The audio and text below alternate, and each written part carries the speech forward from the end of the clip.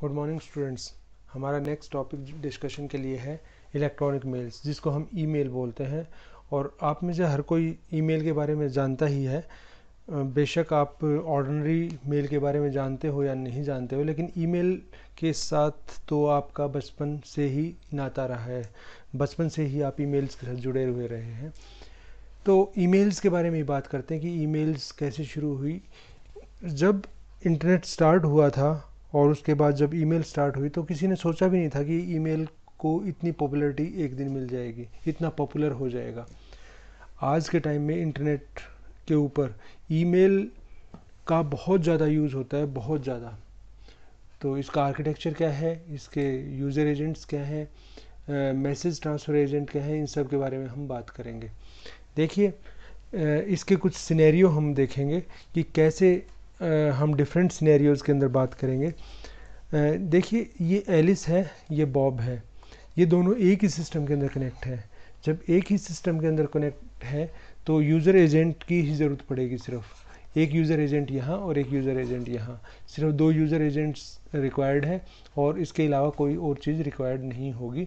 तो ये है आपका, जब वो एक ही सिस्टम में है। When sender and receiver of an email are on the same system we need only two user agents दो यूज़र एजेंट्स की ज़रूरत पड़ेगी।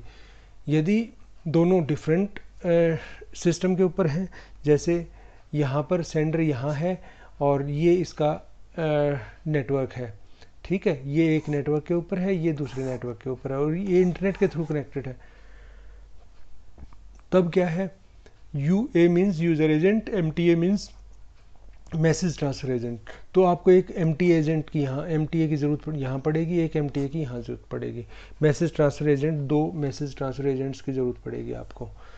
When sender and receiver of an email are on different systems, we need two UA means user agents, and a pair of MTA ठीक है, एक client side में होगी, एक सर्वर साइड में होगी।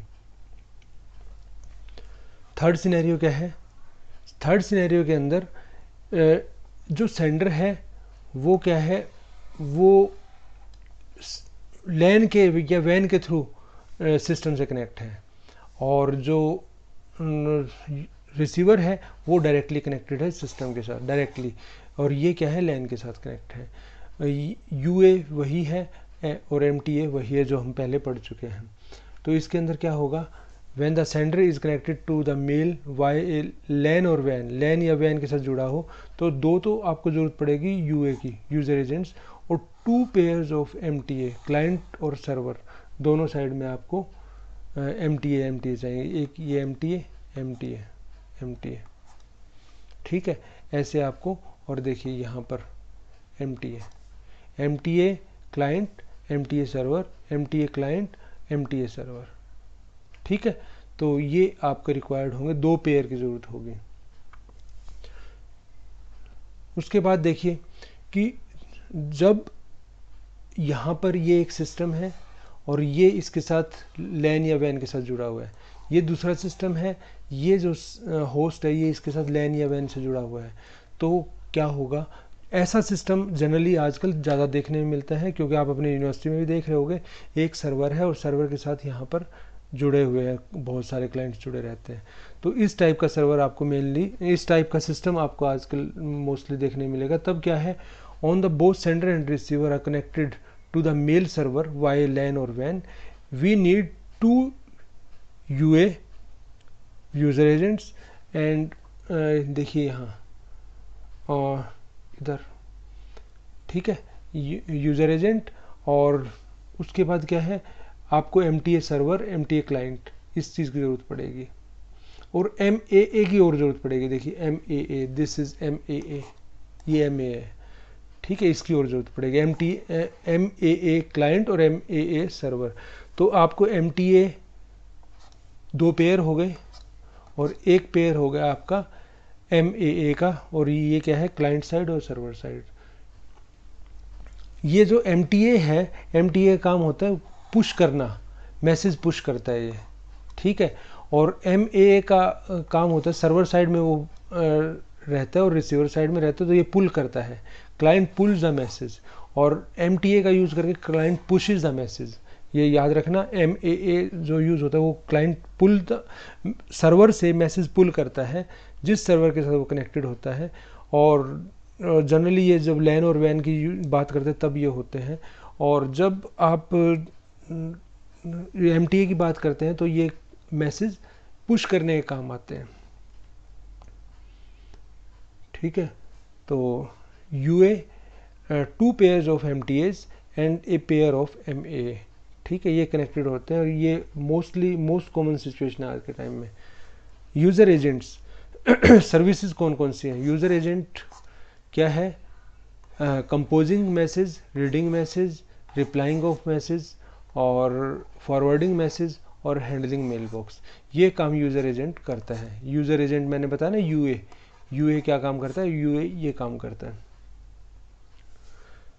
Some examples of command driven user agents are mail pine and E L M ये कुछ कमांड प्रॉम्प्ट के अंदर कमांड ड्राइवन यूज़र एजेंट्स हैं जो आपके एग्ज़ाम्पल दिए गए हैं।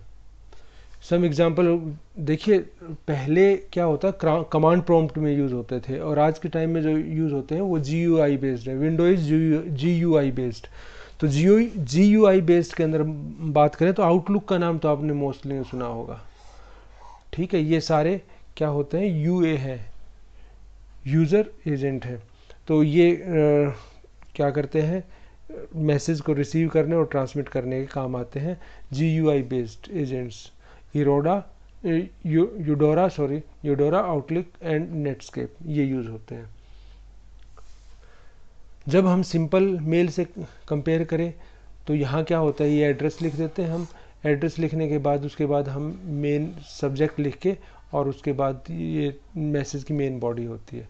जब हम ईमेल की बात करते हैं ईमेल में यहाँ पे ईमेल एड्रेस होता है फ्रॉम किस किस से किसको भेजी जा रही है, उसके बाद क्या होता है कि एक हेडर के अंदर नेम होता है कि किस, ये तो ईमेल आईडी अलग है और लेकिन भेजने वाला कौन है और रिसीव करने वाला कौन है। ठीक है, ये होता है और लास्ट में क्या होगा? बॉडी होती है, जो मेन मैसेज लिख के भेजना है। ईमेल एड्रेस के अंदर दो पार्ट होते हैं, एक एट द रेट से पहले का और एक एट द रेट बाद का, से बाद का। एट द रेट से पहले जो लिखा जाता है, वो address of the mail box एक मेल सर्वर के ऊपर बॉक्सेस मेल बॉक्सेस होते हैं बहुत, और मेल बहुत क्या होते हैं, वो हम क्रिएट करते हैं, जैसे अपने नेम का हमने क्रिएट किया उसके अंदर।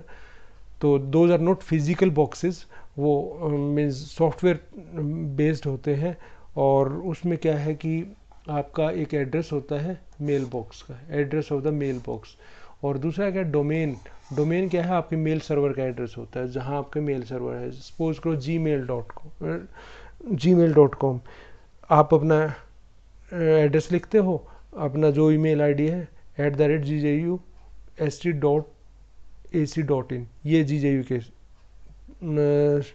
डोमेन नेम पे हो गया, या जी मेल पर हो गया, या रेडिफ मेल पर हो गया। आप किसी पे भी देख लो तो वहाँ डोमेन नेम लिखा जाएगा, और एट द रेट से पहले जो होगा, उसका एड्रेस होगा मेल बॉक्स होगा, आप कह सकते हो। उस डोमेन नेम पे, उस साइट के ऊपर। एम आई एम ई क्या है? This is a multipurpose internet mail extension ठीक है? और इसमें यूज़र एक्सेस यूज़र एजेंट और उसके बाद क्या है? एम आई एम ई ये ये एक प्रोटोकॉल होता है, जो यूज़ होता है मेल हैंडलिंग के लिए, ठीक है? मेल्स को हैंडल करने के लिए यूज़ होता है।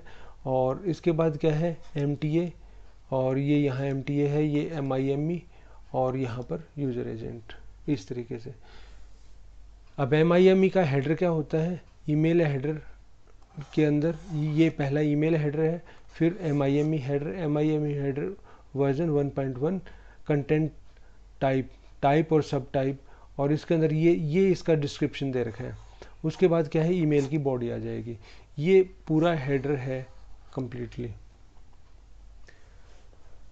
data type and sub type in MIME data कौन कौन से टाइप यूज़ हो सकते हैं? टेक्स्ट यूज़ हो सकता है प्लेन या एसटीएमएल और उसके बाद मल्टी पार्ट पैरल या डाइजेस्ट या अल्टरनेटिव और उसके बाद मैसेज ये partial message R R F C A twenty two और external body image J P G G I F video ये यूज़ हो सकती है M P G audio use हो सकती है बेसिक और एप्लीकेशन क्या होगा?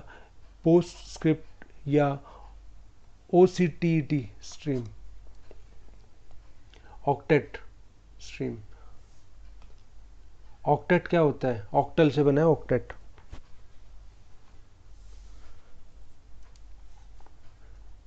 कंटेंट ट्रांसफ़र एनकोडिंग देखिए. सेवन बिट रिप्रेजेंट करेगा N V T ASCII character and eight bit non A S C I I characters ASCII बोलते हैं इसको शॉर्ट फॉर्म में बोल देते हैं। Binary non A S C I I और base sixty four six bit blocks और quoted printable non A S characters ठीक है, ये ये चीज़ इसमें यूज़ होती है। S M T P range S M T P देखिए, यहाँ पे सेंडर है। ये लैन के थ्रू कनेक्टेड है और ये मेल सर्वर है और यहाँ से लैन के थ्रू ये सर मेल सर्वर के साथ कनेक्टेड तो जो एस एम टी पी की जो रेंज है, वो कहाँ से कहाँ तक है? ये सेंडर से लेके मेल सर्वर तक कनेक्ट है। मेल सर्वर जो रिसीविंग साइड में मेल सर्वर है, वहाँ तक आपका S M T P protocol handle करेगा उसको। ठीक है? उसके बाद देखिए M T A commands and response M है एम टी ए क्लाइंट और एम टी ए सर्वर ये कमांड सेंड करेगा, ये इसका रिस्पॉन्स सेंड करेगा. ठीक है? ये क्लाइंट और सर्वर का रिलेशन है. अब कुछ कीवर्ड्स हैं, उसके आर्गुमेंट्स हैं. कमांड कमांड के आर्गुमेंट्स हैं. मीन्स कमांड है कमांड के कीवर्ड्स और उनके आर्गुमेंट्स हैं कि किस काम के लिए यूज़ होते हैं. एच ई एल ओ जो यूज़ होता है, वो sender's host name mail from sender of the message are is repeated to, ये होता है intended recipient of the message data body of the mail ये इस टाइप में सारे कीवर्ड्स इन इन काम के लिए, इन, ये डिस्क्रिप्शन है, किस काम के लिए यूज़ होता है। आर्गूमेंट मीन्स डिस्क्रिप्शन है उनका कि किस किस पर्पज़ के लिए यूज़ हो रहे हैं। ठीक है? अब कुछ कोड्स हैं two one one system status और help reply two one four help message two two zero service ready two two one service closing ये ये कुछ कोड्स हैं जो यूज़ होते हैं। फाइव ज़ीरो ज़ीरो कंटिन्यूड है, देखिए five zero zero syntax error के लिए five zero one syntax error in parameters और आर्गूमेंट्स ये इस तरीके से सारे डिफरेंट कोड्स यूज़ होंगे यहाँ। ये एक एग्जांपल दिया हुआ है, जो आप देख सकते हैं ईमेल से रिलेटेड ये एग्जांपल दिया हुआ है। कंटिन्यूड है। लास्ट में अभी एस एम टी पी मैंने बताया था कि S M T P protocol कहाँ से कहाँ तक हैंडल करता है, यहाँ से यहाँ तक। मीन्स सेंडर से रिसीवर साइड के सर्वर तक। और उसके आगे आगे जो वर्क होता है वो पॉप थ्री और I M A P four in protocol का काम होता है। जनरली क्या होता है? पुश और पॉप दो चीज़ें होता है। पुश मीन्स कोई चीज़ पुश करना अपनी तरफ़ से। पॉप मीन्स रिसीव करना। ठीक है, जहाँ रिसीविंग टाइप में याद रखने का तरीका है कि पॉप का मतलब होता है रिसीव करना। तो रिसीविंग साइड में ये यूज़ होता है प्रोटोकॉल अब देखिए मेल सर्वर और ये बॉब्स कंप्यूटर ये ये हम इसकी बात कर रहे हैं। यहाँ से आगे कैसे होगा? यहाँ से आगे। ये आगे जो डायग्राम बना रखा है, वो सिर्फ़ इतना बना रखा है। तो नेक्स्ट पेज पे जो डायग्राम है, ये इतना है। User name user name okay password okay ये सब चीज़ ओके हो रहा है कि उसके बाद क्या है? List email number and their size ये सब इसका कम्युनिकेशन चल रहा है। ठीक है, यहाँ पे ओके ओके इनका कम्युनिकेशन हो रहा है। तो ये कंट्रोल करता है। जो रिसीवर साइड का जो सर्वर है और रिसीवर साइड का जो क्लाइंट है होस्ट है, उन दोनों के बीच में पॉप थ्री काम करता है। ये ईमेल से रिलेटेड आपका टॉपिक ख़त्म होता है। नेक्स्ट टॉपिक के लिए हम नेक्स्ट लेक्चर में मिलेंगे। Thank you very much